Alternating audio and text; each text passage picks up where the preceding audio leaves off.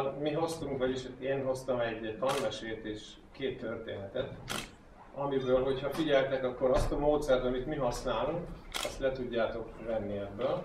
Én ezt a módszert nem minősítem, hogy ez jó vagy rossz, de gyémánt szintig elég. A tanmese a festőről szól és a barátjáról. A festőt meglátogatja a barátja, és a festő izgatottan meséli, hogy az új képét 100 ezer forintért már el is adta. Átmennek a műterembe, és megnézik, a kép úgy néz ki, hogy a vászonnak az egyik fele sárga, a másik lila. És mondja a barátja, hogy ez?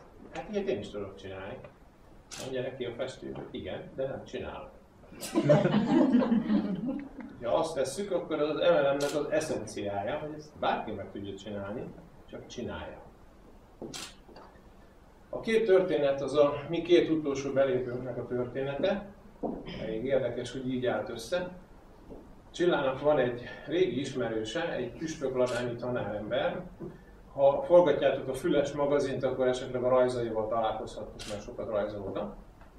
És az a szenvedélye, hogy üzleti könyveket szeret olvasni. És egy ilyen fórumon rátalált Spek Józsinak a Kérnek vigyázzanak az ajtók zárónak című könyvére, nem tudom, ismerjetek, egy szenzációs jó a könyv, és nagyon jó grafikai és ezt a könyvet elolvasta, és eszébe jutott, hogy Csilla ugyanezzel foglalkozik.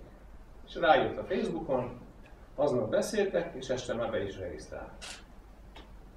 Van a YouTube-on fenn egy videó 2011-ből, amit a szponzorunkkal készített, a szponzorunkkal készített report, ahol elhangzik egy olyan mondat a Judit szájából, akkor ő még SA volt, hogy megmutatom magamat, hogy mivel foglalkozom, és akit érdekel, az majd csatlakozik.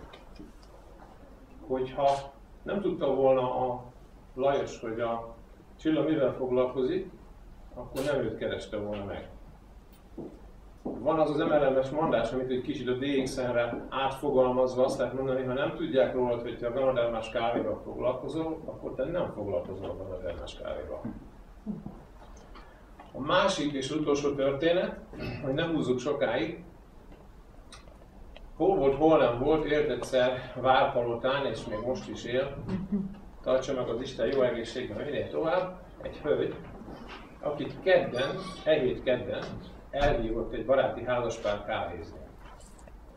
Ez a baráti házaspár történetesen a konkurens Donadelmás kávés cégnek a hálózat építője.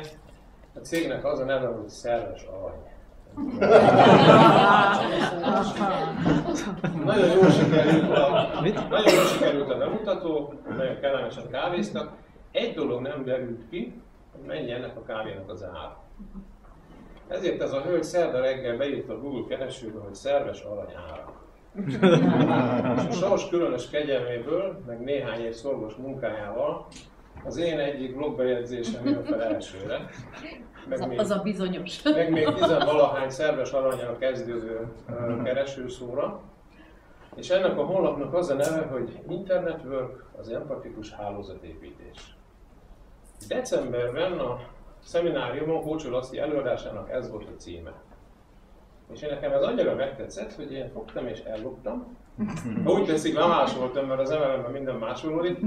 És azóta a mi oldalunknak ez a szlogenje. Mit ad Isten? A hölgy erőszakmentes kommunikáció tréner. És beleszeretett ebbe, hogy empatikus hálózat. Megtalálta az oldalnak a Facebook oldalát, ezt az üzleti oldalát is, nem volt nagyon nehéz és rám jött szerdán, elkezdtünk beszélgetni. Szerda este már eljött a általunk Sistergőnek nevezett uh, Skype beszélgetés, amit a legaktívabb csapatársainkkal szoktunk végezni. Ott ő három oldalt jegyzetel, de nem tudom képzelni, hogy mit. Utána még hajnali fél eddig beszélgettünk hármasban Skype-on, és csütörtökön DSP csomaggal beregisztrált. Most ebből két tanulság van, hogyha online akarsz boldogulni, akkor meg kell tanulni. Attól, hogy van egy barna DX-es honlapod, még nem foglalkozom online hálózatépítéssel. A másik, el kell menni szemináriumra, mert lehet, hogy csak két szót viszel haza, de az hozhat neked egy belépő. És most átadom a szót tanult páromnak, a szerelmemnek, Csillának, aki nem csak kiváló grafikus, de tréner is, ma különösen jól néz ki, és én imádom.